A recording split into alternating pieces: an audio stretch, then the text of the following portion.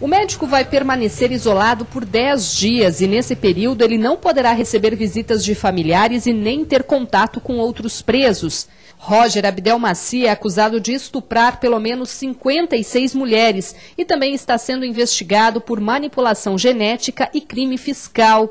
O médico, considerado um dos maiores especialistas em reprodução assistida do país, estava preso desde o dia 17 de agosto no Distrito Policial, no bairro Vila Santa Maria, na capital.